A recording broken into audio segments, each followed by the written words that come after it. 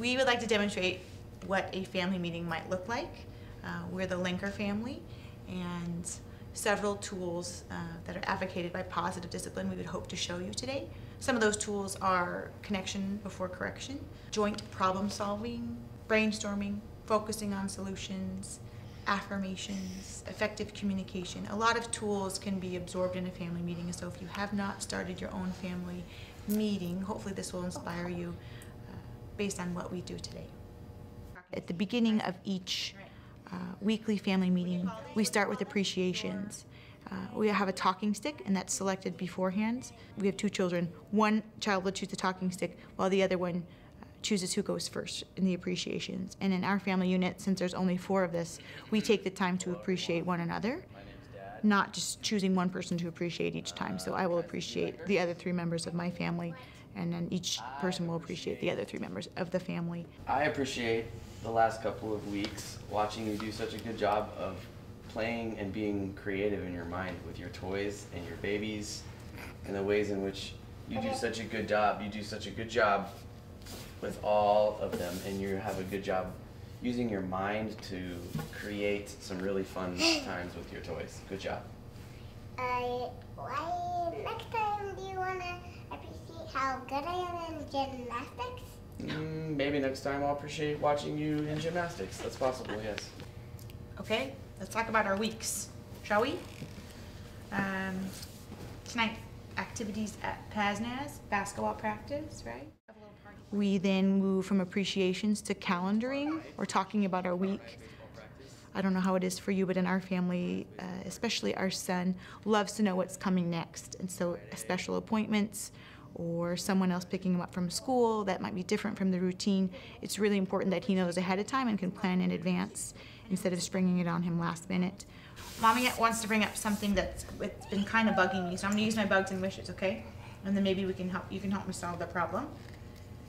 It bugs mommy when um, you two want to copy each other a lot, and And I be pesky.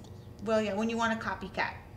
And it's frustrating me, and I would really like your help solving it. After the calendaring time happens in our family meeting, then we move from that into either solving an issue that's been on our family agenda, and that's where my husband and I connect beforehand, so we're on the same page about what solving problem we're, we're trying to solve, or an agreement that we're trying to make with the kids, or it may be just a time that you plan something fun, an activity, an opening in your week the next weekend, and so you want to just take that time to block out and brainstorm together how you want to spend your time. In this role play in our family meeting, we solved an issue. One of you ends up doing what? Pouting. pouting, getting mad, and then one of you gets mad, the other one tries to come and Tells. tells um, the other person. Tattletale. Mom, Dad. So we need your help. What could we do to solve this problem? Do you have any ideas how we could solve it? Yes, Kaisley. Ask nicely. Uh, if you ask nicely several times, then you can go tell.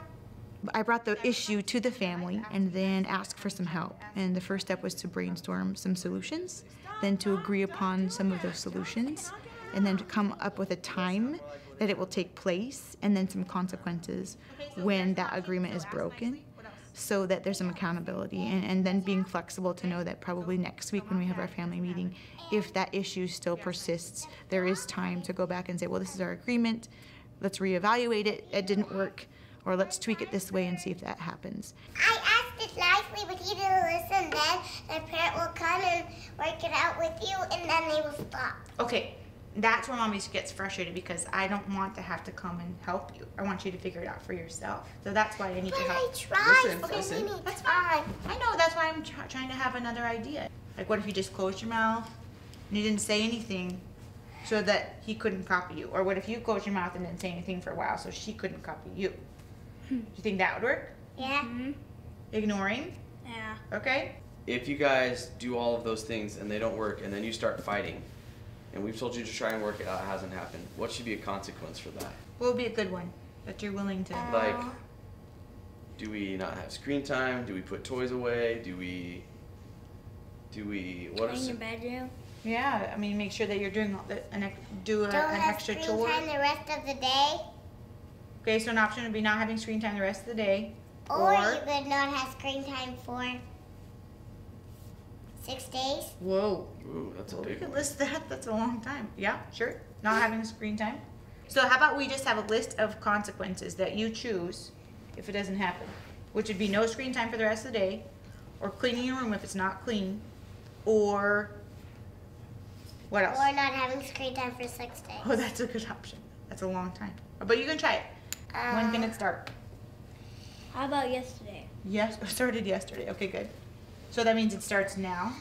Yeah.